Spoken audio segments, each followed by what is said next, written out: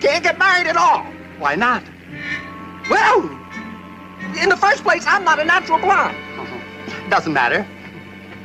I smoke. I smoke all the time. I don't care. Well, I have a terrible past. For three years now, I've been living with a saxophone player. I forgive you. I can never have children. We can adopt some. But you don't understand, Osgood. Uh, I'm a man. Well, nobody's perfect.